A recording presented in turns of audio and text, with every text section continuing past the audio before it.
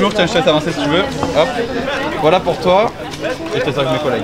La file d'attente remontait jusqu'en haut du cours Mirabeau. Tous, étudiants, ont répondu à l'appel ce jeudi du syndicat Luniex Marseille pour venir récupérer gracieusement un colis alimentaire.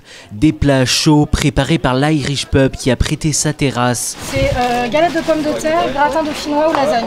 Et même des masques en tissu fournis par la mairie. Des provisions qui font plaisir en cette période difficile. À l'heure d'aujourd'hui, c'est vrai qu'on est confiné ici, on ne peut pas rentrer chez nos parents.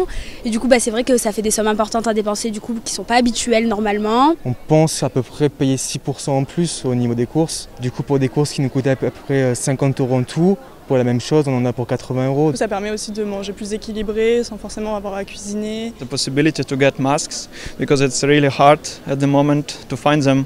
Car Siex a perdu une majorité de sa jeunesse. De nombreux étudiants sont restés confinés ici, parfois seuls et dans des situations de précarité. On voit que euh, les étudiants euh, sont euh, dans le besoin, on voit qu'il y a une précarité grandissante parmi la communauté étudiante. Et d'ailleurs, ça fait un mois et demi qu'on constate durant nos distributions hebdomadaires. D'après les chiffres de la mairie, on se retrouve avec à peu près 1000 étudiants sur les 40 000 que nous avons actuellement, dont une cellule d'à peu près 200 à 300 gamins qui se retrouvent dans une situation très précaire.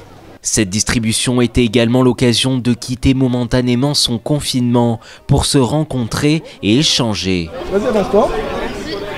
Ça se passe bien le confinement Mais tant mieux. C'est le moment d'avoir du lien social parce qu'il y a beaucoup d'étudiants qui sont confinés chez eux, qui n'ont malheureusement pas la possibilité d'avoir d'échanges avec d'autres personnes. Et si dès lundi ces étudiants pourront ressortir de nouveau, ils ne reprendront pas le chemin des facultés qui resteront fermées.